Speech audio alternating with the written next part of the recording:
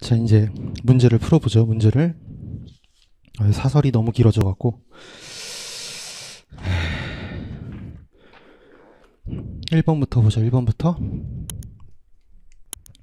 자, 1번 목적 재무 보고에 대한 설명으로 옳지 않은 걸 물어봤어요. 자, 2번이 틀렸죠. 2번.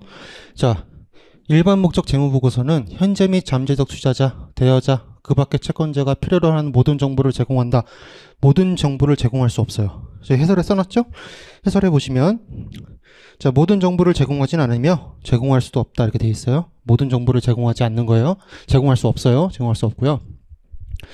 이 1번은 왜 맞냐면 이 현재 및 잠재적 투자자 대여자, 그 밖의 채권자가 이 재무보고의 주요 이용자잖아요. 그 주요 이용자 외우라고 말씀드렸어요. 이 네 사람.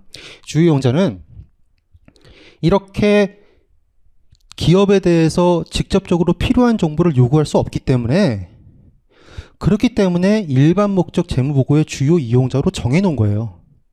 일반 목적 재무보고가 뭐예요? 여러 이해관계자들이 있을 텐데 다 정보의 수요 내용이 다르잖아요.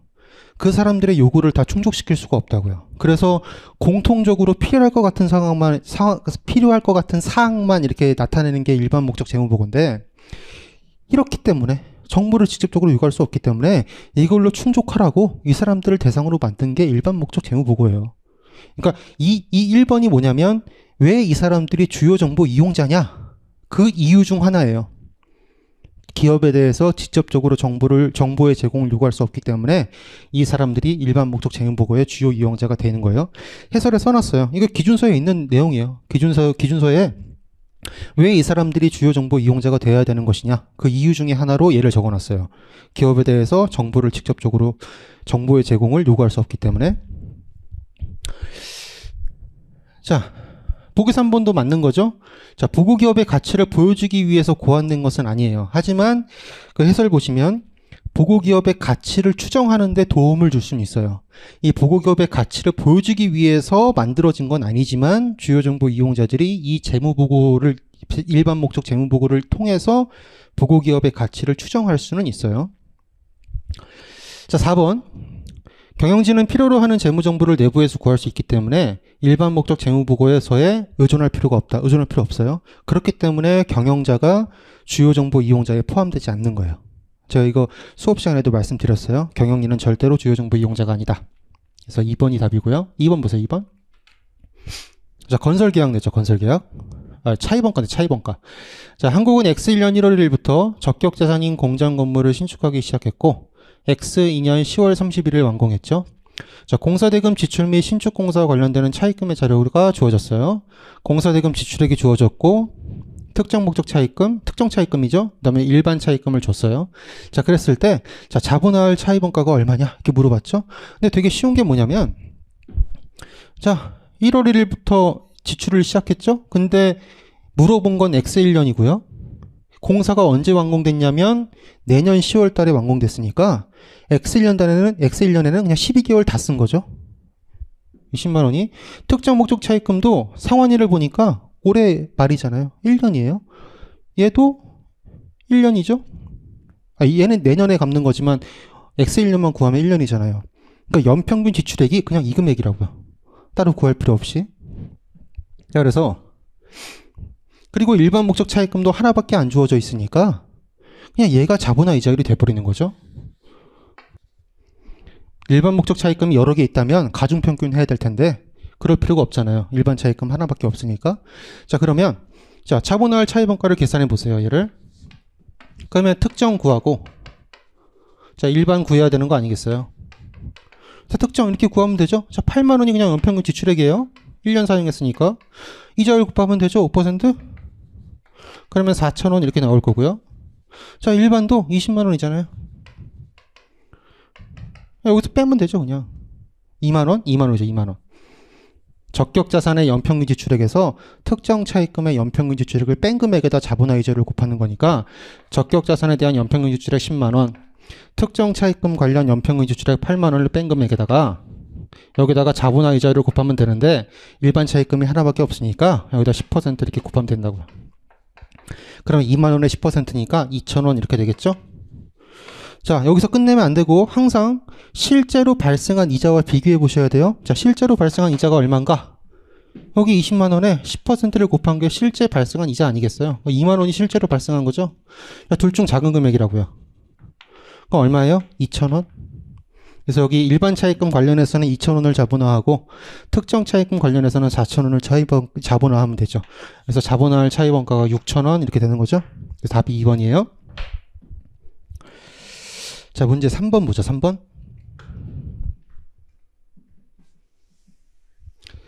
자, 정부에게 물어봤어요. 정부에게. 얘는 따로 설명 안 할게요. 그냥 해설지 보시면 돼요. 해설지 보시면 되니까 얘는 그냥 넘어가죠.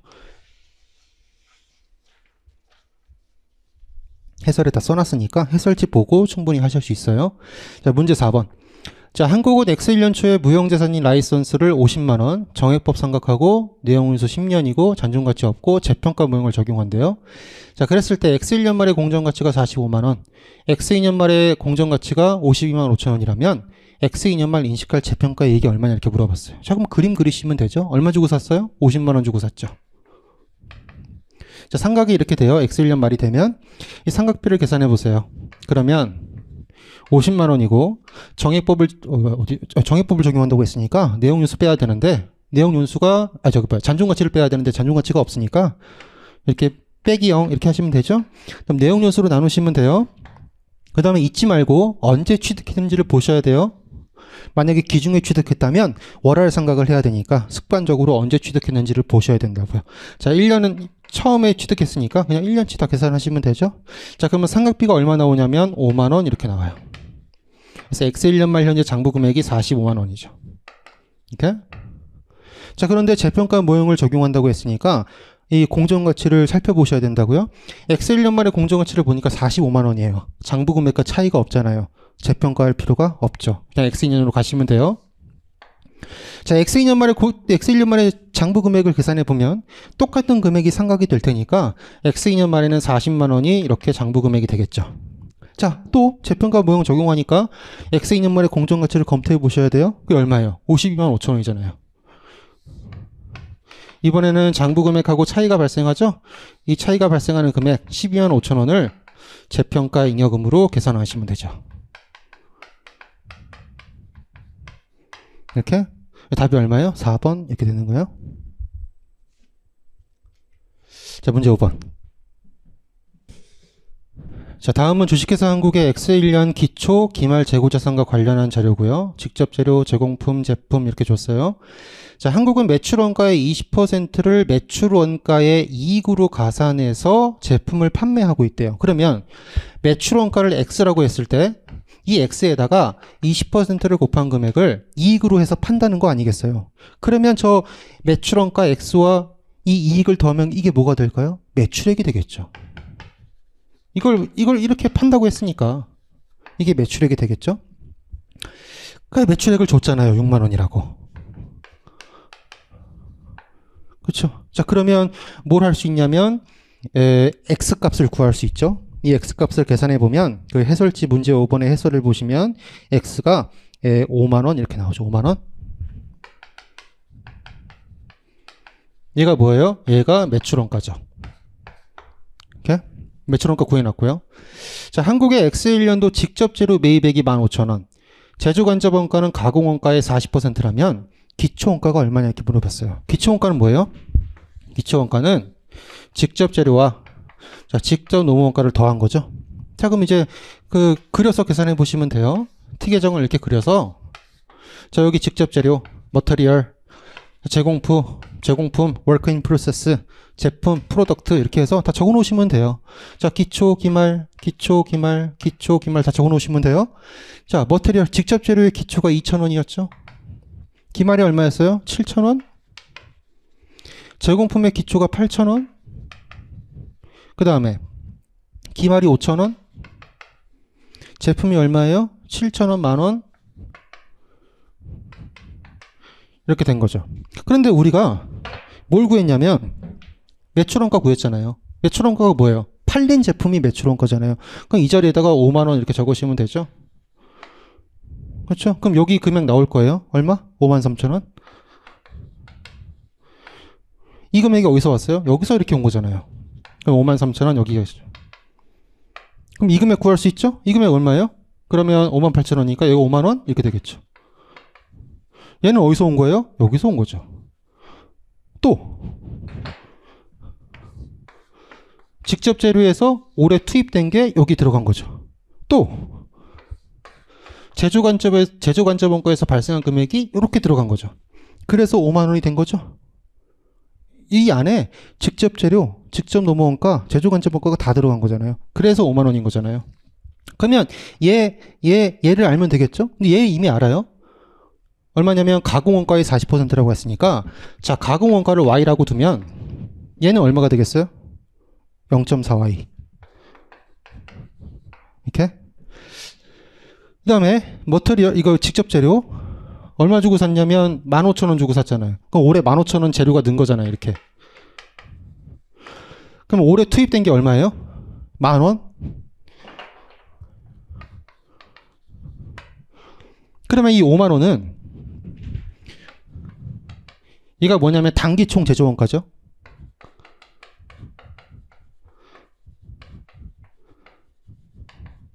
이 5만 원이 자 직접 재료 발생한 거, 자 직접 재료 직접 노무 원가 발생한 거, 다음 제조 간접 원가 발생한 게 다 더한 거라고요. 직접 재료가 여기 만 원이라고 구해놨잖아요. 만 원. 근데 얘는 몰라요. 대신에 우리가 이 금액을 알 수 있죠. 4만 원이라고. 전체 금액에서 이것만 빼면 이 두 개 합친 금액이 나올 거 아니겠어요. 4만 원이라고. 이게 뭐예요? 이게 가공 원가잖아요. 그러면 얘 구할 수 있죠? 가공 원가의 40%라고 그랬으니까. 그러면 제조 간접 원가가 얼마예요? 16,000원. 그러면 직접 노무 원가 구할 수 있죠? 얼마? 22,000원, 24,000원. 문제에서 뭐 물어봤어요? 기초 원가. 예. 34,000원. 이렇게 구하시면 되죠? 3번 이렇게.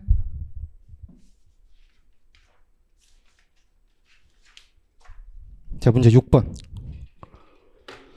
그러니까 이렇게 쉬운 거를 맞추셔야 된다고요. 쉬운 거를. 쉬운 거를 실수 없이 맞춰야 합격할 수 있는 거예요. 남들이 다 틀리는 문제 있잖아요. 그건 나도 틀려야 돼요. 아니, 남들이 틀리는데 혼자 맞추면 그 욕 먹어요. 남들이 틀리는 건 같이 틀려주시고요. 남들이 맞추는 걸 같이 맞추셔야 돼요. 그래야 합격하는 거예요. 남들이 맞추는 걸, 남들이 쉽게 맞추는 걸 내가 못 풀면 그거는 끝난 거예요. 그 게임인. 아시겠죠? 그러니까 어려운 걸 잘해야 합격하는 게 아니에요. 그래서 고급도 하지 말라는 거예요. 그래서 고급회계도. 자, 문제 6번. 아, 얘는 좀 어려웠을 수 있겠죠. 기본 주당 이익, 주당 이익은 좀 어려우니까. 아, 그래서 주당 이익을 만약에 문제를 내면 이런 것처럼 기본 주당 이익만 물어볼 거예요. 희석 주당 이익은 안 물어볼 거예요. 희석 주당 이익은 너무 어려워서 안 물어볼 거예요. 안 물어볼 거예요. 물어보더라도 되게 간단하게 물어볼 거예요. 어찌됐든. 자, 다음은 주식회사 한국의 X1년 주당 이익과 관련된 자료다. 자, 배당 결의가 이미 이루어졌다면, 자, 기본 주당 이익이 얼마냐 이렇게 물어봤죠? 그럼 기본 주당 이익을 어떻게 계산하는지를 아셔야 돼요. 자, 기본 주당 이익은 뭐 다 공부하셨을 테니까, 보통주 당기순이익에서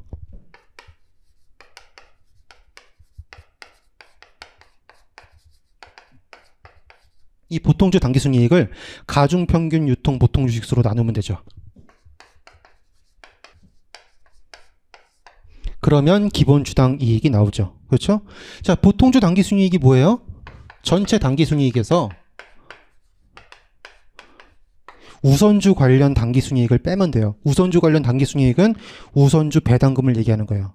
왜냐하면 배당금을 당기순이익으로 배당을 줄 테니까. 그래서 우선주 배당금을 빼시면 돼요. 이렇게. 자, 그럼 첫 번째 우리가 해야 될 일은 얘죠, 얘. 얘를 일단 구하셔야 돼, 얘. 그 다음 두 번째로 얘를 구하시면 돼요. 얘를. 자, 첫 번째, 가중평균 유통보통 주식수를 계산해 보세요. 말 그대로 X, 지금 X1년이죠? X1년 한 해 동안 도대체 보통주가 몇 주가 유통되고 있나, 이거를 계산해 보시면 돼요. 첫 번째 자료를 보니까 기초 1월 1일 현재 800주가 유통되고 있대요. 이렇게. 자, 그 다음에 우선주가 뭐 기초 전환 이런 거 신경 쓰지 마시고요. 우선주가 500주 있어요. 일단 보통주는 아니죠. 우리는 지금 보통주 구하는 게 보통주. 보통주? 보통주가 아니니까 일단 제끼고요.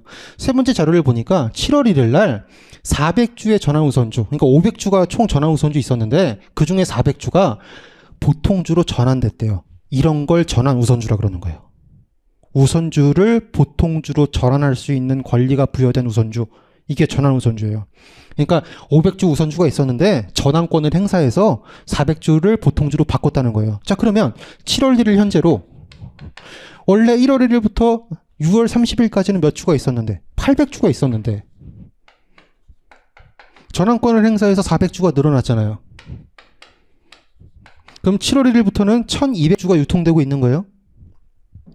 자, 그 다음에, 그 다음 당기순익 주어졌고, 배당률이 주어졌죠. 자, 그러면 이 두 개만 갖고 가중평균 유통 보통 주식수를 계산할 수 있죠.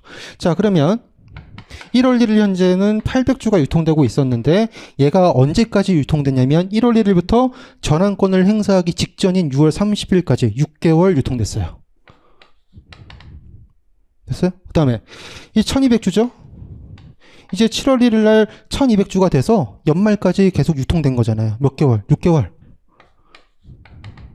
자, 얘를 12로 이렇게 나눠주시면 가중평균 유통 보통 지수가 나오죠. 그럼 얼마예요?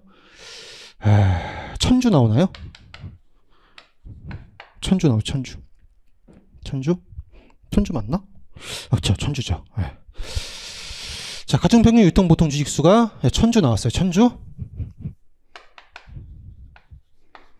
자, 그 다음에 두 번째로 이제 보통주 당기 순이익을 계산해 보세요. 보통주 당기 순이익은 당기 순이익에서 뭘 빼라고요?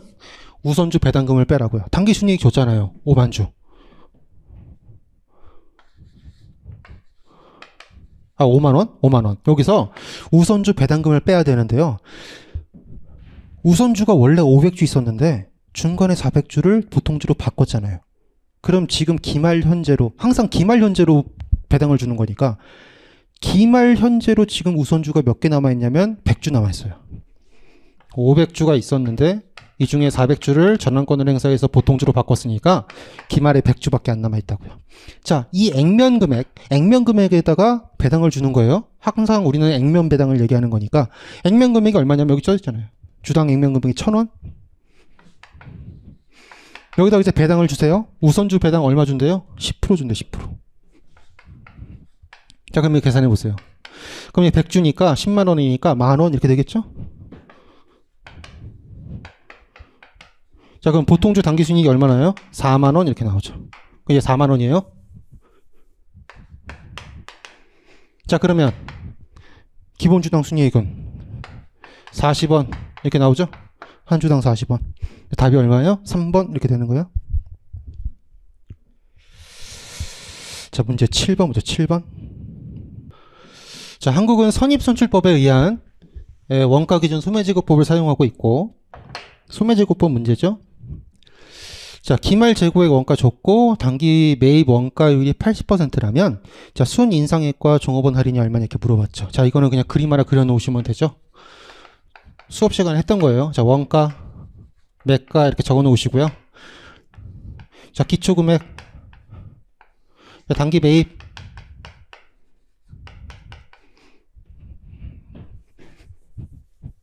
자, 기초 기초 재고 단기 매입 이거 두 개 더한 건 자, 매출 원가와 기말 재고의 합과 같죠?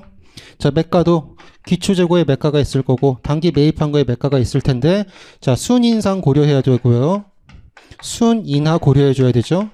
그리고 비정상 파손이 있다면 비정상 파손 빼주시고, 빼주시고 이 합은 매출액과 기말 재고 그리고 정상 파손 그리고 종업원 할인을 더한 것과 같죠. 이거 외우셔야 돼요. 이거. 자, 그럼 이제 숫자를 다 갖다 집어 넣으시면 되죠. 원가 기초 재고가 얼마였어요? 2,000원. 갖다 적으세요, 그냥. 단기 매입이 16,000원 있죠?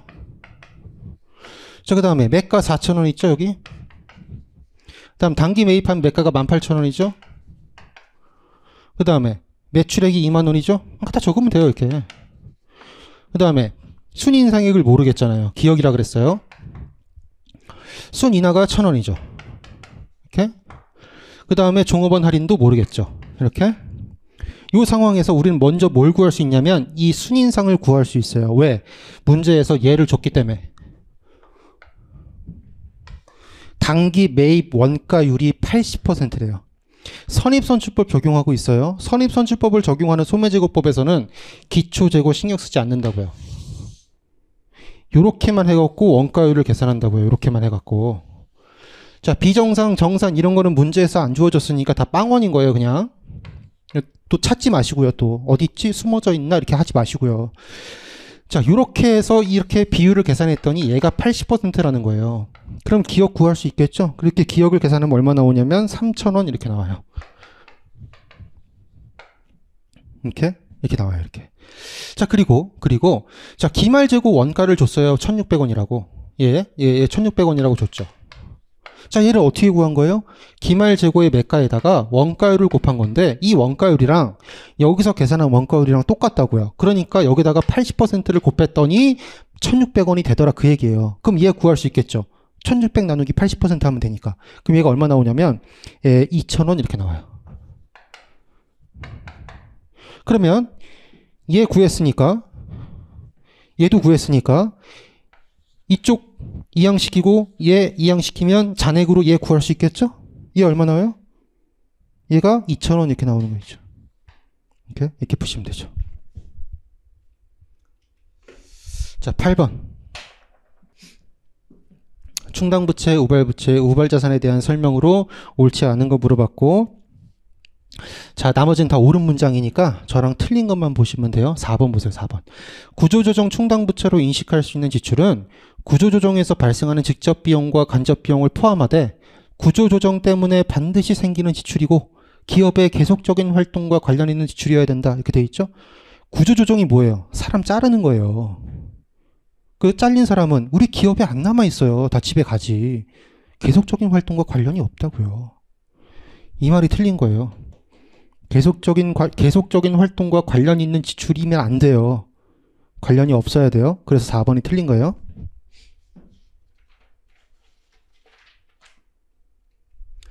자, 문제 9번 사업 결합에 대한 문제죠. 사업 결합은 그냥 합병이에요. 기업을 사오는 거라고요. 그러니까 이 문제에서는 뭐냐면 대한이 한국을 사온 거예요.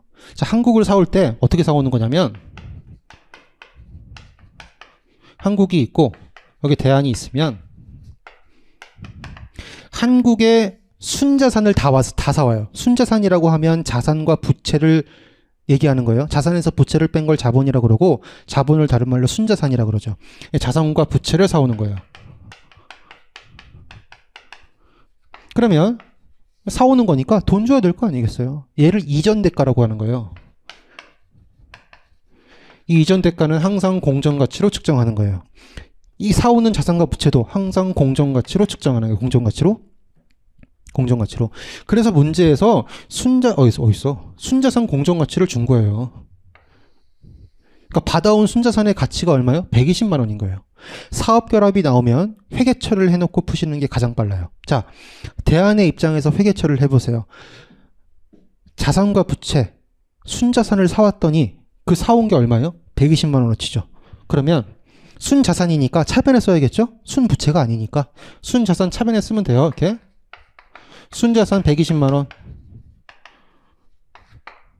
이렇게 쓰시고요. 그 다음에 이전 대가를 찾으세요. 얼마를 주고 사왔나?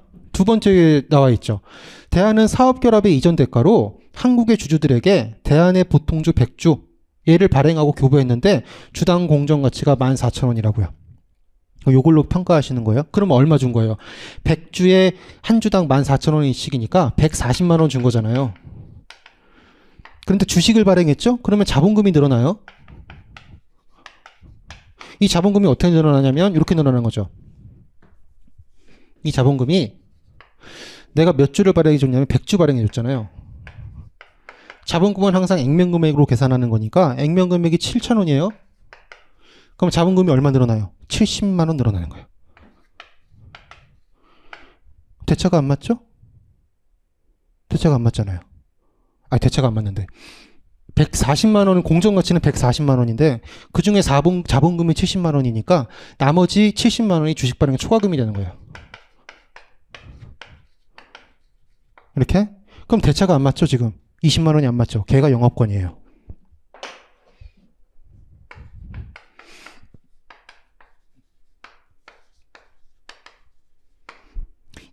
주식회사 한국의 순자산 가치는 120만 원밖에 안 되는데 내가 140만 원을 준 거예요. 왜? 영업권이 있기 때문에.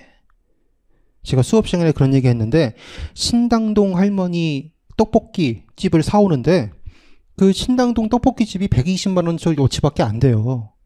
그럼 120만 원만 주면 되거든요. 그래서 120만 원만 주고 이제 집에 가려고 했더니 할머니가 나를 붙잡는 거예요.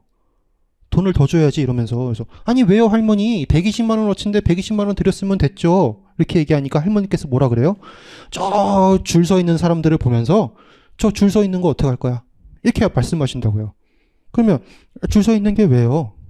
그 할머니가 말씀하시죠. 내가 이 줄을 세우려고 그동안 내가 얼마나 열심히 했는데 홍보도 열심히 하고 떡볶이 소스도 만들고 어? 떡을 쫀득쫀득하게 하기 위해서 내가 연구도 많이 하고 했는데 그거 값도 줘야 될 거 아니야? 이렇게 따지신다고요. 그래서 그 값을 드린 게 영업권이에요.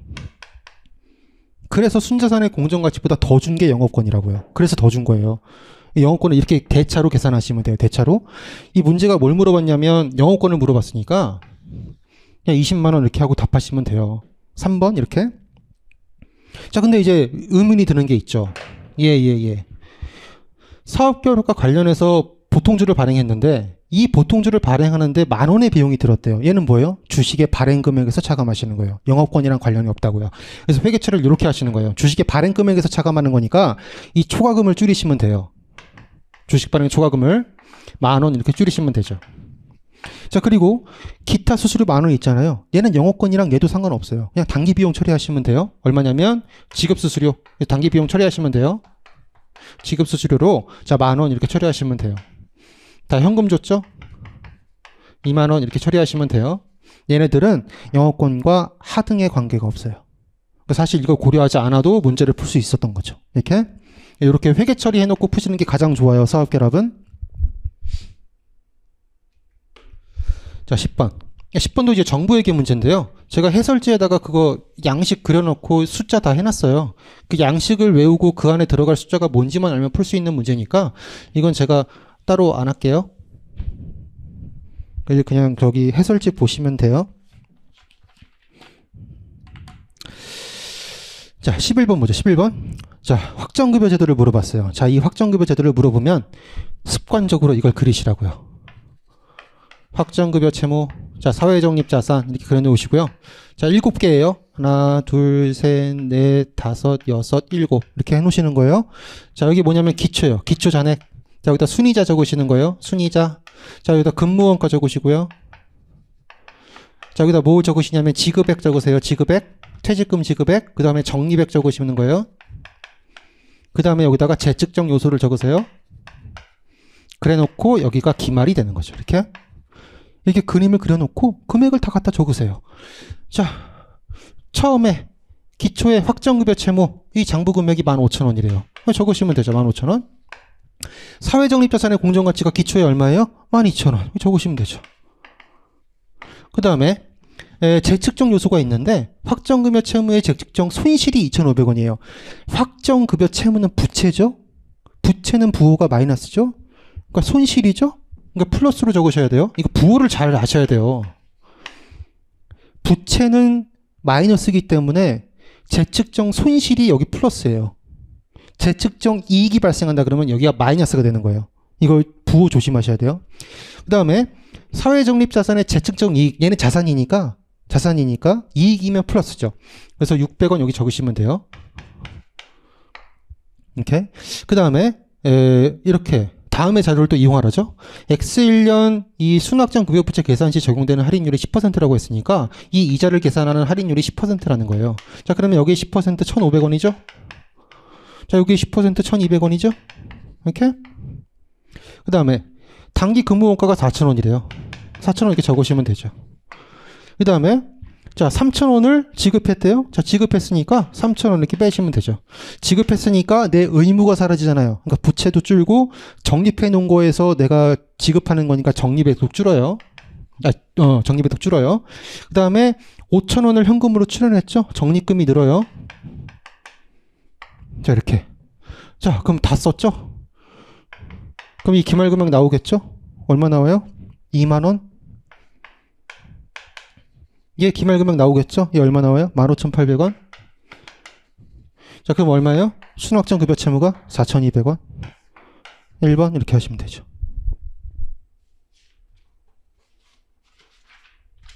자, 12번.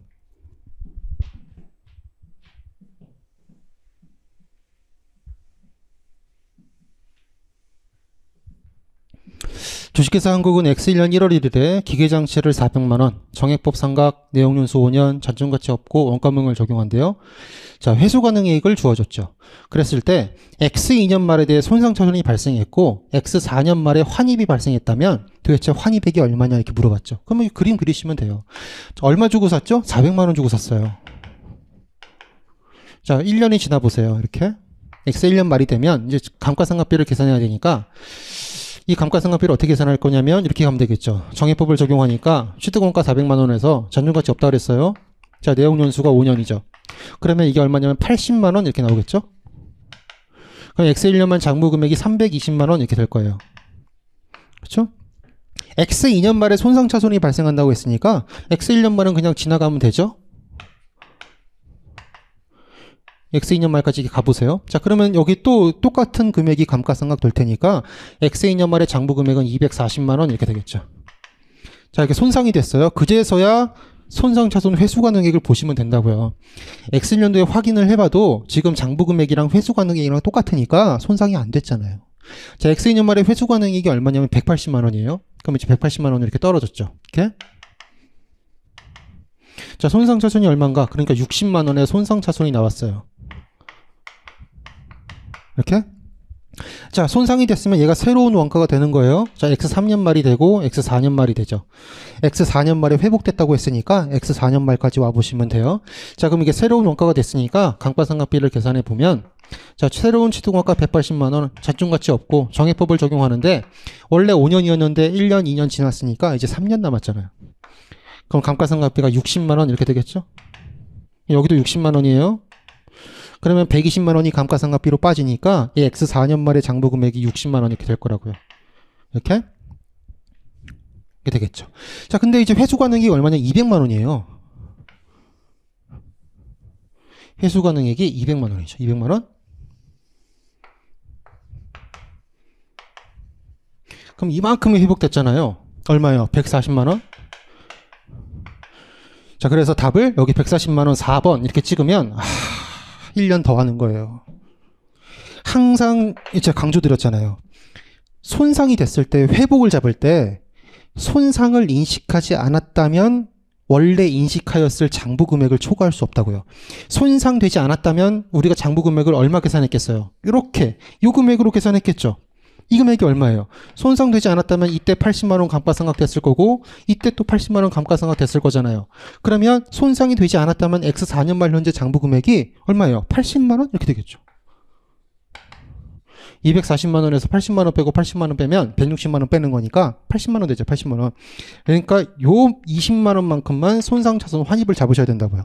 그래서 답이 4번이 아니라 1번이 되는 거예요. 1번. 이렇게 이렇게 거예요. 이렇게. 그러니까 대충 공부하면 또 이거를 답으로 정한다고요. 대충 공부하면. 그러니까 대충 공부하지 말라고요. 자, 13번.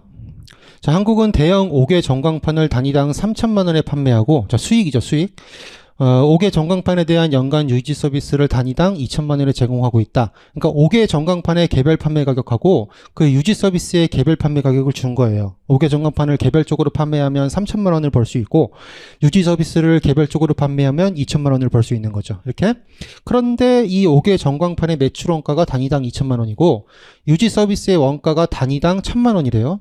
한국은 X1년 7월 1일 날 5개 전광판 한 단위하고 이에 대한 1년간의 유지 서비스를 묶어서 4천만 원에 판매하고 설치 완료했대요. 자 그러면 원래는 개별적으로 팔면 3천만 원, 2천만 원 이렇게 벌어야 되는데 5개 전광판하고 자 유지 서비스를 자 3천만 원, 얘 2천만 원. 그래서 이렇게 팔면 은 5천만 원을 총 받아야 되는데 얘가 개별 판매 가격이죠. 얘를 묶어서 팔면서 천만 원 할인해 준 거예요. 4천만 원. 4천만 원만 받은 거예요. 자, 그럼 이렇게 할인이 발생하면 개별 판매 가격의 비율로 우리가 안 분한다 그랬잖아요. 거래 대가의 배분, 거래 금액의 배분. 자, 그러면 얘를 배분해 보세요. 이 비율대로 하시면 되니까 얘가 지금 60%죠? 자, 얘 40%죠? 그러면 4천만 원의 60%는 2,400만 원. 그 다음에 여기 4천만 원의 40%는 1,600만 원이죠? 5개 전광판은 2,400만 원 받은 거고요. 유지 서비스는 1,600만 원 받은 건데 이 주의하셔야 돼요. 5개 전광판은 한 시점에 이행하는 수행 의무예요. 그러니까 그냥 파는 그 순간 수익 인식하시면 되는데 유지, 서, 유지 서비스는 뭐라 그랬냐면 1년간 제공해 주는 거거든요. 그러니까 얘는 뭐예요? 기간에 걸쳐 이행하는 수행 의무예요. 그러니까 얘는 기간 안 분하셔야 된다고요. 자, X1년 보기 1번 X1년 7월 1일에 인수할 매출액이 얼마냐? 지금 이 거래가 7월 1일 날 이루어진 거거든요. 7월 1일 날. 그럼 7월 1일 현재 인식할 수익은 얘밖에 없는 거예요. 정각판을 그때 딱 팔았으니까. 그러면 이 유지 서비스, 유지 서비스에 대한 거는 언제 인식하나? X1년 말이 되면 인식하는 거예요. 보고기간 말이 되면. 6개월이 지났으니까, 그때. 그때. 그래서 X1년도에 인식, X1년 7월 1일 날 인식할 건 여기 2,400만 원. 무기 1번 맞고요. 보기 2번. 이제 X1년의 매출액을 구해 보래요. 그러면 요 7월 1일 날 인식한 2,400만 원의 매출하고 이제 유지, 유지 서비스도 계산해 봐야겠죠. 1,600만 원 받은 건데 얘가 지금 1년간 유지 서비스 해주는 거의 대가라고요. 그런데 7월 1일부터 12월 30일까지 6개월 지났으니까 800만 원만 올해 인식하면 되는 거죠. 그러면 유지 서비스 관련해서 800만 원, 전광판 관련해서 2,400만 원이니까 3,200만 원을 인식하면 되겠죠. 보기 2번도 맞아요. 다음 보기 3번. X1년의 매출 총이익이 700만 원이다 이렇게 했죠? 그냥 생각해 보세요. 매출 총이익 어떻게 구해요? 자, 매출에서 매출 원가를 빼면 나오는 거 아니겠어요? 전광판하고 5개, 5개죠, 5개? 5개? 똑같이 쓰면 5개 전광판하고 이제 유지 서비스를 계산해 보면 자, 5개 전광판 2,400만 원 곱박 팔았다고요. 자, 매출 원가 이거 주어졌죠? 2천만 원이라고? 자 그러면 5개 정합판 관련해서는 400만 원의 매출 총이익이 나오고 이제 얘 해보세요 유지 X년도에 800만 원 인식했잖아요 자 그리고 이 원가도 줬는데 단위당 1000만 원이에요 1000만 원 여기다 다 갖다 적으면 안 돼요 이 금액을 기간 배분했듯이 원가도 배분해야 돼요 6개월치만 갖다 써야 된다고요 그래서 500만 원만 원가가 되는 거예요 아니 그래야 수익 비용이 적절하게 대응이 되죠. 수익만 기간 배분하고 얘를 기간 배분 안 하면 말이 안 되잖아요. 그래서 유지 서비스에 관련해서는 매출 총이익이 300만 원 이렇게 나오죠. 그럼 총 얼마예요? 700만 원 이렇게 나오죠. 그럼 보기 3번도 맞죠? 그럼 답이 얼마예요? 4번? 이렇게 하시면 돼요. 실제 시험에서는 4번 또 확인해 보지 마시고 시간이 없으니까 4번 그냥 확 찍으시면 돼요. 근데 이제 우리는 이제 공부하는 거니까 이제 4번도 한번 해보죠. 자, X 2년도의 매출 총이익을 물어봤어요. 이건 지금 이거는 X 1년이고 X 2년도는 정광판은 X 2년이랑 관련 없죠? X 1년도에 판 거니까. 그 다음에 X 2년도에 관련해서는 유지 서비스 관련 인식해야겠죠. 총 1년간 유지 서비스인데 X 1년도에 6개월치만 계산했으니까 X 2년도에 나머지 6개월치 다 인식하면 될 거 아니겠어요? 그러면 금액이 똑같겠죠? 300만 원? 그래서 매출 총이익이 600만 원이다. 이게 틀렸고요. 300만 원이 맞아요.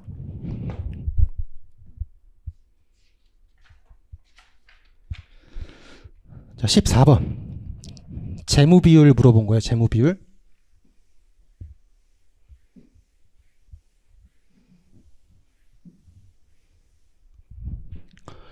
자, 뭘 물어봤냐면 매출채권 회전율하고 재고자산 평균 처리 기간을 물어봤는데요. 매출채권 회전율을 구하려면 어떻게 해야 돼요? 이거 외우는 팁인데요. 매출 채권 회전율이잖아요. 자동차를 생각해 보세요. 자동차가 굴러가려면 바퀴가 위에 있어야 돼요? 밑에 있어야 돼요? 바퀴가 밑에 있어야겠죠. 그, 그래야 바퀴가 막 회전하면서 자동차가 갈 거 아니겠어요? 매출 채권이 회전하려면요. 매출 채권이 밑에 있어야 돼요. 아, 그래서 매출 채권을 분모에 쓰시라고요.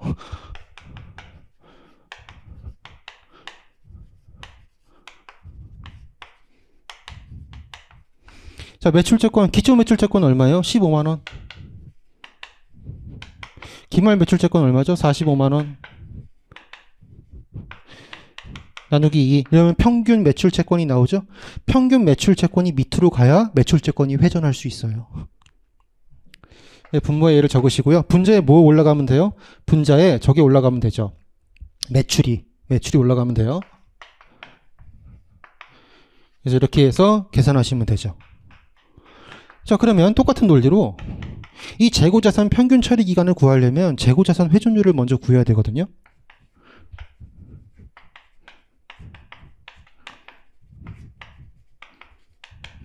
얘도 평균 재고 자산이 밑에 가면 회전할 수 있어요. 기초 재고 자산 얼마예요? 24만 원. 기말 재고 자산이 얼마예요? 16만 원? 자, 나누기 2. 그럼 평균 재고 자산 나오죠? 분자에 뭐가 올라가면 돼요? 뭐가 올라가면 돼? 저게 오늘 이제 400만 원 뭐야? 매출원가 올라가면 되죠. 자, 그러면 재고자산 회전율이 나오는데 얘가 20회 이렇게 나와요. 365일을 요 재고자산 회전율로 나누면 재고자산 평균 처리 기간이 나오는데 여기서는 가정을 줬어요. 360일이라고. 그러니까 360일을 20회로 나누면 돼요. 그러면 얼마예요? 18회? 이렇게 되겠죠. 그럼 답이 몇 번이죠? 1번 이렇게 되는 거죠. 1번. 자, 15번 아까도 말씀드렸지만 이거 못 외운다고요.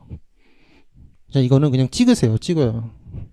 자, 그러면 앞으로 이런 문제가 나오면 우리는 이제 방어적으로 공부하는 거예요. 방어적으로. 방어적으로 공부하는 게 뭐냐? 기출됐던 문장만 공부하는 거예요. 기출됐던 문장만. 그래서 이거 기출된 문장을 책에다가 표시하시고 왜 공부하시면 돼요. 공부하겠다면 안 하는 걸 추천하는데요. 그래도 불안하신 분들이 계실 거란 말이죠. 불안하다면 이렇게 기출된 문장을 중심으로만 공부하시면 돼요. 자, 16번 리스죠. 이게 좀 어려웠을 수도 있어요. 자, 보면 자, 옳지 않은 거를 물어봤죠. 4번이 옳지 않은데 4번이 뭐냐면 제조원가 제조자 또는 판매자인 리스 제공자 그러니까 판매형 리스를 얘기하는 거예요. 판매형 리스. 자, 금융 리스 체결과 관련해서 부담하는 원가를 리스 개시일의 자산으로 인식한다 이렇게 되는데 자산으로 인식하는 게 아니라 비용으로 인식하는 거죠. 비용으로 인식하는 거고 어, 나머지는 다 옳은 문장이니까 저랑 보기 3번만 좀 보세요. 제조자 또는 판매자인 리스 제공자는 고객을 끌기 위해서 의도적으로 낮은 이자율을 제시하기도 하고 이러한 낮은 이자율의 사용은 리스 제공자가 거래에서 생기는 전체 이익 중 과도한 부분을 리스 개시일에 인식하는 결과를 가져온다 이렇게 되어 있죠. 이게 맞아요. 왜 그러냐면 리스 자산의 취득 원가가 있을 거고요. 그리고 그 리스료의 현재 가치를 매출로 인식하잖아요. 판매형 리스를 공부하셨을 테니까 매출액으로 그 현재 가치를 매출액으로 인식하는데 그래서 요 차액 요 차액이 뭐예요? 매출 총이익이잖아요. 이거 얘를 매출 총이익으로 계산한다고요. 판매형 리스에서는 그런데 낮은 이자율을 제시하게 되면 어떻게 되냐면 이자율과 현재 가치는 반비례하니까 요 현재 가치 금액이 여기로 바뀌어요. 그러면 매출 총이익을 이만큼 인식해요. 그 얘기는 그 얘기는 요만큼 매출 총이익을 과대 이익한다는 거예요. 과대로 잡는다는 거예요. 이게 그 말이에요. 이게 예, 그거 설명드린 거예요, 지금. 나머지는 다 맞으니까 보시면 돼요. 자, 17번, 17번.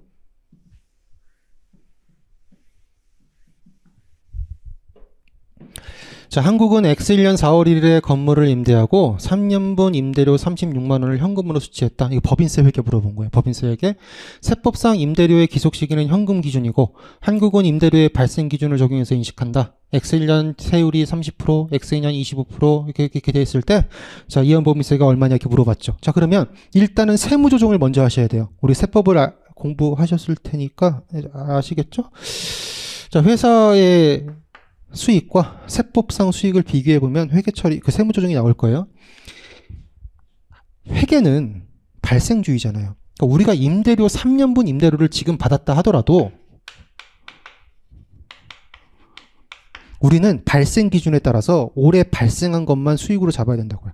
그럼 4월 1일에 3년치를 받았으니까 X1년 말이 되면 9개월치만 우리가 설정해 줘야 될 거 아니겠어요, 이렇게. 회계상 에, 임대료 수익은 얼마예요? 90만 원이 되는 거죠. 9만 원? 9만 원 되는 9만 원. 그쵸? 9만 원. 맞죠? 9만 원? 9만 원. 9만 원, 9만 원. 그렇죠? 그런데 세법은 뭐라 그랬어요? 현금 기준으로 한다고 했으니까 문제에서 그냥 준 거예요. 현금 기준으로 한다고 그랬으니까 저 36만 원이 다 X1년의 수익으로 잡혀야 된다고요.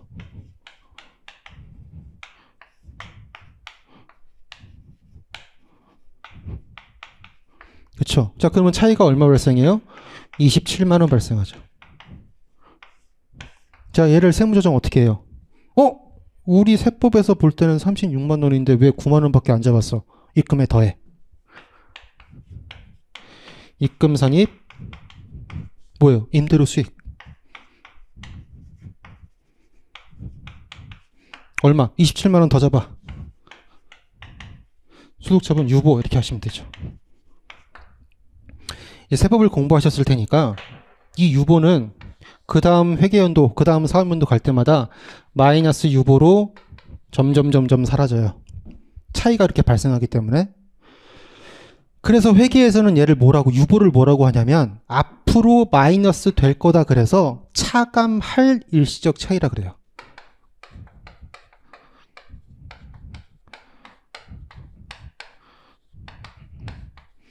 유보는 차이가 결국 다 사라지기 때문에 일시적 차이라 그러고요. 우리 세무조정 사회 유출하는 거 있죠. 사회 유출하는 것들은 그 차이가 없어지지 않아요. 그래서 걔를 영구적 차이라 그래요. 뭐 어찌됐든. 자, 유보를 앞으로, 유보는 앞으로 사라질 거니까 차감할 일시적 차이라 그러고요. 얘를 이연법인세 자산이라고 하는 거예요. 그 반대. 만약에 마이너스 유보가 나왔다 그러면 얘는 반대 세무조정이 유보로 되잖아요. 자꾸 더해진다고요. 그럼 걔는 뭐겠어요? 가산할 일시적 차이가 되는 거예요.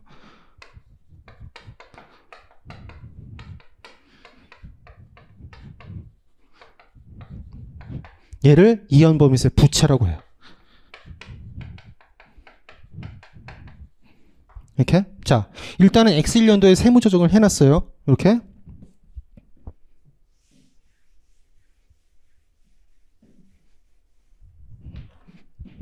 입금 산입 유보. 그러니까 X의 2년도가 되면 어떻게 되겠냐면 이제 3년치에 대해서 X의 2년도에는 1년치를 다 인식하면 되는 거 아니겠어요? 그러면 12만 원 이렇게 인식할 거라고요. 그렇죠?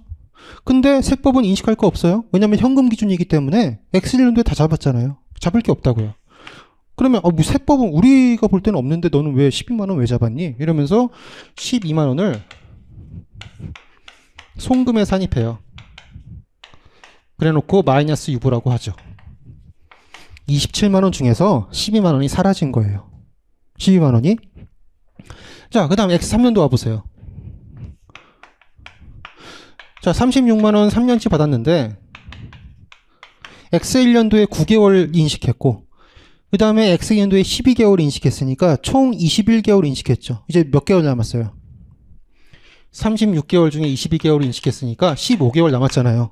15개월 이렇게 계산하시면 돼요. 그럼 15만 원이죠? 이렇게? 그러면 15만 원만큼 안 잡아도 안 잡아야 되는데 잡았으니까 얘도 송금산이 마이너스 유보 이렇게 한다고요. 이렇게? 27만 원 유보 중에서 X 2년도에 12만 원 추인됐고 나머지 15만 원이 X3년도에 추인된 거예요. 이연 법인세 자산 부채를 계산할 때 소멸되는 회계 온도를 파악하시고 소멸되는 금액을 파악하세요. 그런 다음에 그 소멸되는 회계 연도의 세율을 곱하는 거예요. X2년도에 소멸될 때 X2년도의 세율이 얼마예요? 25%잖아요. 여기 25%. X3년도는 20%. 이렇게 계산하면 얘 3만 원, 얘 3만 원 이렇게 나와서 이연범위세 자산이 6만 원 나오는 거예요. 자산이에요. 부채 아니에요. 지금 유보기 때문에 앞으로 사라질 거잖아요. 차감할이라고 차감할. 그러니까 자산이에요. 이연법에서 자산 6만 이렇게 계산하시면 돼요. 자, 그런데 저 같으면 제가 만약에 문제를 푼다 그러면 얘 안 구해요. 얘만 구하고 끝내요. 왜? X 3년 이후에는 20%로 똑같대요, 세율이. 그러면 이 금액이 만 원 나오고 X 4년도에 뭐 예를 들어서 뭐 5, 5천 원 나오고 뭐 그 다음 연도에 2천 원 나오고 따로따로 구할 필요가 있어요? 어차피 다 30% 어차피 다 20%인데 그냥 이 잔액에다가 20% 곱하면 되지? 그쵸? 그러니까 여기까지만 구하고 나머지 15만 원에 대해서 그냥 20% 하면 끝난다고요. X3년도 구할 필요 없이. 자, 18번. 얘도 아까 말씀드렸어요.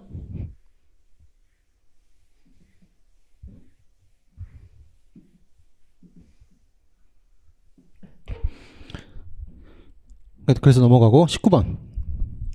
자, 대안은 상품 운반용 어, 신제품 드론 한 대를 생산했는데 자, 한 대를 생산하는데 소요되는 원가 자료가 다음과 같대요. 자, 그랬을 때 어, 누적 시간 학습 모형이 적용된대요. 이게 뭐예요? 생산량이 누 그냥 생산량이 아니에요. 누적 생산량이 두 배가 될 때마다 80%로 점점 뚝뚝 떨어지는 거예요. 80%로. 이게 누적 평균, 이게 누적 평균 시간 학습 모형이죠. 자, 그러면 한 대를 만들 때, 이게 지금 한 대를 만드는데 들어가는 거죠. 한 대를 만들 때 몇 시간 들어가요? 100시간 들어가요, 100시간.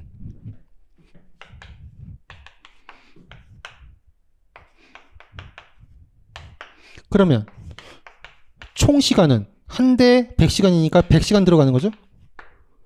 누적 생산량이 두 대가 돼 보세요. 그러면 이 100시간이 학습 모형이 작동해서 80%밖에 발생 안 하니까 80시간밖에 안 된다고요. 학습 모형이 뭐예요? 내가 이거를 만드는데 처음에 만들 때는 잘 몰라요. 이 드론을 만드는데 아 어떻게 만드는지 모르겠어. 그래서 100시간이나 걸렸어요. 그런데 한 대를 더 만들어 보니까 한 대를 만들고 이제 두 대째를 만들 때는 좀 더 쉬워질 거 아니겠어요? 시간이 좀 준다고요. 학습이 됐기 때문에. 그 준 시간이 20시간이다 그 얘기예요. 그게 학습 모형이에요. 그게. 자 그러면 두 대를 만들 때 몇 시간이 들어가냐면 106시간이 이렇게 들어가죠. 자, 또 누적 생산량이 4대가 되면 또 학습 모형이 적용돼서 이제 한 대당 만드는데 80시간이 아니라 64시간만 들어가는 거죠. 여기에 80%니까. 자, 그러면 이게 총 몇 시간이 들어가요? 100, 아, 계산이 안 되냐. 256시간? 이렇게 되겠죠. 4, 46에 6, 4, 24니까 256시간 이렇게 되잖아요. 문제에서 물어본 게 뭐냐면 세대를 추가로 생산한다면 도대체 제조 원가가 얼마 발생하냐? 이걸 물어봤어요. 누적 생산량이 4대. 처음에 한 대. 자, 그러면 이 한 대와 누적 생산량 4대일 때의 시간을 빼면 세대의 시간이 나오는 거죠. 그렇죠? 몇 시간 나와요? 156시간 나오나요? 세대 만드는데 156시간 들어가네요. 노무 원가가 얼마래요?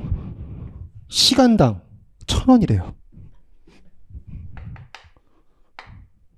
그 다음에 제조간접 원가가 시간당 500원이래요.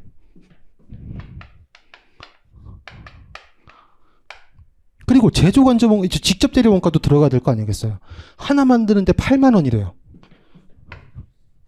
근데 나는 세 대 만드는 거잖아요. 이렇게 계산하면 세대를 만들 때 들어가는 제조 원가가 나오죠. 이렇게 해도 되는데 저는 이렇게 하지 않겠어요.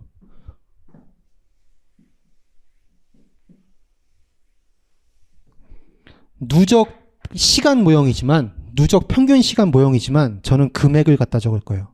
무슨 금액? 이 시간에 영향을 받는 금액. 시간에 영향을 받는 금액이 뭐가 있는지 살펴보니까 직접 노무원가 시간에 영향받죠? 제조 간접 원가도 시간에 영향받죠? 1,500원 발생하네요. 한 대를 만들 때 1,500원이 발생해요. 그렇죠? 그리고 한 대를 만드는데 100시간 발생하죠. 그럼 얼마 발생하는 거예요? 150만 원 발생하는 거죠. 그렇죠? 아 15만 원인가? 15만 원. 말 뭐야? 맞나? 어, 15만 원 이렇게 발생하는 거죠. 그러면 이게 단위 발생 금액이고 총 발생 금액이 15만 원이죠. 두 대가 되면 여기 80%니까 12만 원. 그럼 총 24만 원. 자, 네 대 만들 때는 여기에 또 80%니까 9만 6천 원. 그러면 총 시간이 얼마예요? 예, 6, 4, 24니까 36이니까 이렇게. 자, 그러면 38만 4천 원에서 15만 원을 빼면 얼마 나와요? 23만 4천 원? 얘가 뭐예요? 세대를 만들 때 직접 노무비하고 변동 제조 간접원가죠. 여기다가 직접 재료만 이렇게 곱하면 바로 나오겠죠. 이렇게 금액으로 계산하는 게 더 빨라요. 자, 20번. 그 해설지에도 금액으로 계산한 걸로 해놨으니까 그 보시면 돼요. 금액으로 계산하세요. 금액으로. 시간으로 하면 시간이 많이 걸려요. 금액으로 하는 게 편해요. 자, 대안은 X1년 1월 1일에 한국의 지분 30%, 아, 이거 관계기업 물어본 거예요. 지분법이. 자, 3만 600원에 취득했고, 유의적인 영향력을 행사하게 됐는데, 일단 이거 그냥 어떻게 푸는지 보세요. 이거 지금 설명 들어도 잘 모르실 거예요, 아마. 일단 첫 번째 뭘 구해야 되냐면, 공부하신 분들은 이제 알겠죠? 혹시나 공부하신 분들이 계시다면, 주식 취득일의 차이를 구하셔야 돼요. 주식을 언제, 얼마 주고 샀냐면, 아, 어딨어? 여기 있죠. 36,600원에 샀대요. 여기서 장부 금액에다가 내가 취득한 그 취득률을 곱해서 계산한 금액을 빼면 주식 취득일의 차이가 나와요. 지금 이 장부 금액이 얼마냐면 10만 원이죠. 자, 내가 취득한 지분율이 얼마예요? 30%죠? 그러면 주식 취득일의 차이가 600원 이렇게 나온다고요. 자, 그 다음에 뭐 하냐면 이 주식 취득일의 차이를 삼각하셔야 돼요. 자, 삼각 자산이 있고 내가 취득한 자산 중에 삼각 자산이 있고 그다음 재고 자산이 있죠. 그리고 영업권이 있을 거예요.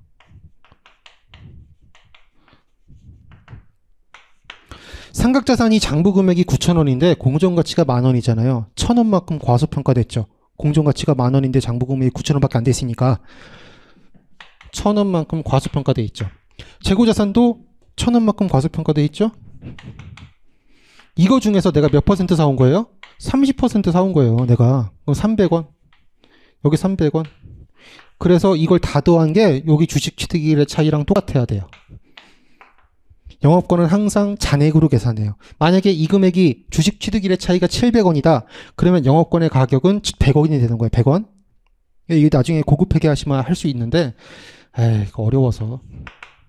자, 얘를 이제 삼각하시는데요. 삼각자산은 말 그대로 감가상각비를 계산하는 거니까 그냥 삼각하시면 되거든요. 자, 내용 연수가 5년이죠. 5년에 따라 삼각하세요. 그럼 여기 얼마냐면 60원 이렇게 될 거예요. 그 다음에 재고자산은 삼각자산이 아니니까 처분할 때 몽땅 다 삼각이 된다고요. 처분 언제 했어요? X1년 중에 다 팔았잖아요. 그러면 다 300원이 이때 다 사라지면 되는 거예요. 이렇게. 자, 얘를 뭐라고 하냐면 얘를 상각 누계액이라고 하는 거예요. 얘를 자 여기까지 됐고 그러면 지분법 이익은 어떻게 구하냐면 P투자 회사의 당기순이익에다가 내 지분율을 곱해요. 거기다가 상각 누기액을 뺀다고요. 자, P투자자 지금 누구예요? 한국이죠? 한국의 당기순이익이 얼마예요? 2,200원이잖아요. 2,200원에다가 자, 30% 이렇게 곱한다고 내가 30% 취득했으니까 거기다가 상각 누계액 요 360원을 빼면 돼요. 그러면 지분법 이익이 나오는 거예요. 그러면 만약에 이 고급 회계를 공부 안 했다. 그럼 얘도 찍는 거예요. 그냥 고민하지 말고.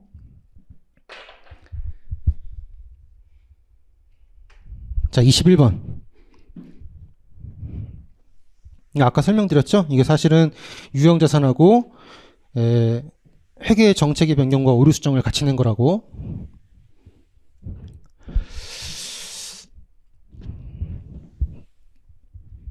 한국은 X1년 초 기계장치를 만원, 정액법 상각 4년, 잔존가치 2천원, 원가명 적용하는데 자 이렇게 했대요. 자 그러면 에, 샀잖아요. 만 원 주고 그럼 X1년 말이 되면 감가상각을 하겠죠. 자 정액법을 하는데 잔존가치가 2천원이라 그랬어요. 잔존 대응 요소로 나눠주면 되겠죠. 4년 이렇게 그럼 2천원 이렇게 감가상각 될 거예요. 그럼 X1년 말에 장부 금액이 얼마 될 거냐면 8천원 이렇게 되겠죠. 그렇죠? 그래놓고 X 2년 말이 이렇게 됐는데 X 2년 중에 재평가 모형으로 변경했대잖아요. 그러면 처음부터 재평가 모형을 적용한 거와 똑같이 회계 처리해야 된다고요. 그러니까 이때부터 재평가 모형을 적용하시면 되는데 똑같이 감가상각비는 2,000원일 거예요. 그럼 X 2년 말에 장부 금액이 6,000원 이렇게 되겠죠? X 2년 말에 공정가치가 주어졌을 거예요. 여기 주어졌죠? 12,000원? 12,000원 평가하시면 돼요. 그래서 재평가 잉여금을 6천원 이렇게 인식하시면 되죠. 그렇죠? 그 다음에 X3년 감가상각비를 계산해 보세요. 재평가했으니까 얘가 새로운 취득원가가 되죠. 잔존가치 2,000원이고요. 이제 남은 내용 연수가 3년, 4년이었는데 2년 지났으니까 2년 남았죠. 이렇게. 그럼 이 금액이 얼마 될 거예요? 5,000원 이렇게 되겠죠. 자, 보기 1번. X1년도의 감가상각비가 얼마냐? 여기 2,000원이죠? 그러니까 1번은 틀렸죠? 그렇죠? 그 다음에 X2년의 재평가잉 여금 여기 6,000원이죠? 그 다음에 X3년의 감가상각비 여기 5,000원 맞죠? 3번이 맞죠? 그 다음에 X3년 기계장치 처분이익 얼마 주고 팔았어요? 여기 8,000원 받고 팔았다고요. X3년 말에 장부 금액이 얼만데 12,000원에서 감가상각 뺀 7,000원이잖아요. 7,000원짜리를 8,000원 받고 팔았으니까 처분이익은 1,000원 이렇게 나오는 거 아니겠어요?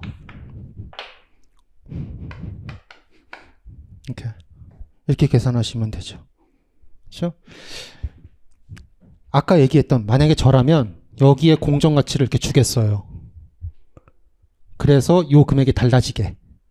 그렇게 하면 조금 어려워질 거예요. 왜냐하면 이 회계 정책의 변경을 소급법을 적용해서 처음부터 바뀐 금액으로 하는 것이다. 이걸 모르면 이걸 평가 안 할 거 아니겠어요. 그렇죠? 자, 22번. 아, 할 말이 없다고요. 찍으세요. 3번? 3번인가? 아, 2번이네. 아, 틀려도 어쩔 수 없죠. 아, 이렇게 쿨하게 넘어가야 된다니까요. 자, 23번. 얘도 못 풀어요, 얘도. 얘도 못 푼다고요. 풀 수가 없다니까요. 하나를 얻으려면 하나를 버려야 돼요. 진짜로. 대충 공부하라는 게 아니라. 자, 24번. X1년도에 고정비가 60만 원이고, 자, 성익분기점 매출액이 그런데, 영업이, 저기 뭐야, 안전한계율이 그렇대요. 그럴 때 영업이익을 물어보고 있는데, 이거 식을 외우셔야 되죠? 자, 안전한계율을 어떻게 구하나? 이렇게 구하시는 거예요. 공원이익분의 영업이익. 이게 안전한 계율이에요. 자, 공원 이익은 영업이익에 뭐야? 아 뭐야? 공원 이익은 영업이익과 자 고정 원가를 더한 거 아니겠어요? 그렇죠? 우리 그 변동 손익계산서를 변동 변동 원가 계산 손익계산서를 계산 그 떠올려 보면 매출액이 있고 여기에 변동 매출 원가를 적고 여기다가 변동 판관비를 적고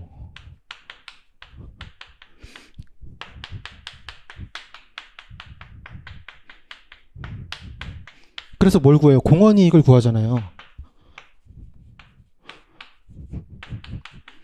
일단 여기다 밑에다가 고정원가를 빼죠. 변동원가 계산, 손익계산서에서. 그럼 뭐가 나와? 이게 영업이익 나오잖아, 이게.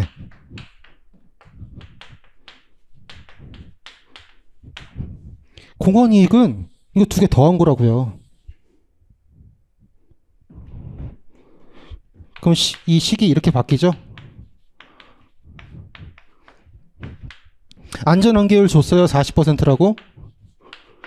고정원가 줬어요. 60만 원이라고. 그 영업이익 구할 수 있죠. 자, 이 식을 안전한계율 구하는 식을 이렇게 글로 외워도 되고요.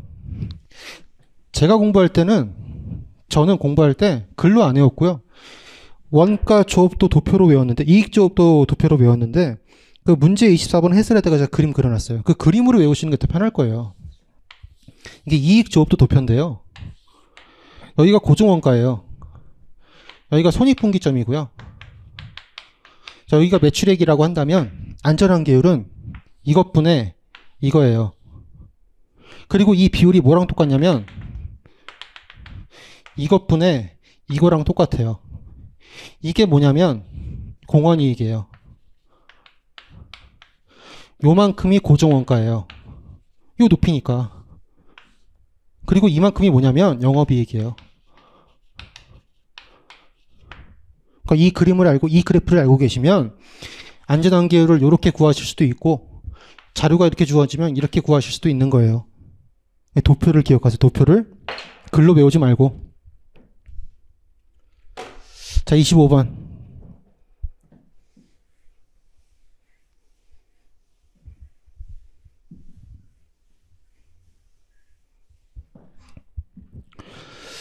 자, 매출 총이익하고 영업 활동으로 인한 현금 증감액을 구하라 그랬는데 일단 매출 총이익부터 계산해 보세요. 매출을 알아야겠죠?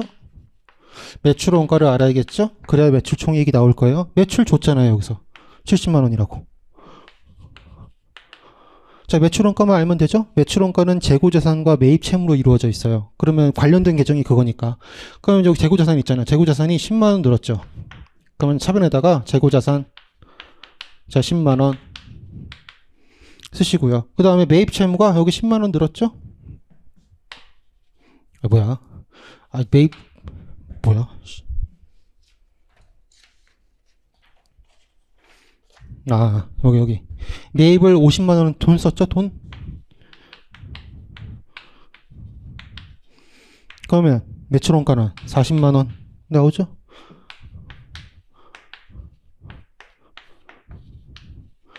매출 총액이 30만 원 이렇게 되는 거예요. 매출 원가 구했어요. 자, 그다음에 이제 영업 활동으로 인한 현금 증감액을 계산해 보면 영업 활동과 관련된 걸 다 갖다 적으시면 되죠. 다 갖다가 자, 매출 채권이 10만 원 줄었죠? 자산이 줄었으니까 대변에다가 매출 채권 이렇게 쓰시면 되죠. 얼마냐면 10만 원 이렇게 그다음 재고 자산이 10만 원 줄었잖아요. 아, 10만 원 늘었잖아요. 차변에다가 재고 자산 10만 원. 그다음 매출 원가 아까 우리 우리 구했죠? 40만 원. 그 다음에 매입 채무가 10만 원 늘었어요. 매입 채무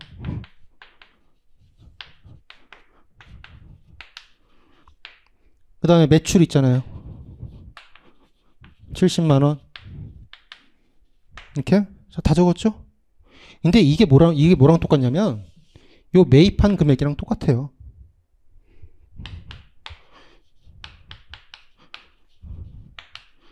매입을 50만 원 단기에 해서 그 중에 일부는 남았고요. 일부는 팔았다 그 얘기예요. 그러니까 매입 그냥 50만 원 써도 되고요. 재고자산 매출원가 나눠서 써도 되고요. 자, 그러면 대차가 안 맞을 거예요. 얼마가 안 맞냐면 40만 원이 안 맞죠? 40만 원이 뭐예요? 영업 활동으로 인해서 들어온 현금이에요.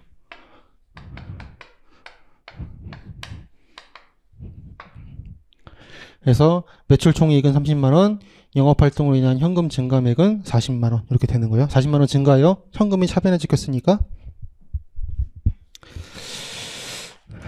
자, 여기까지 해보죠.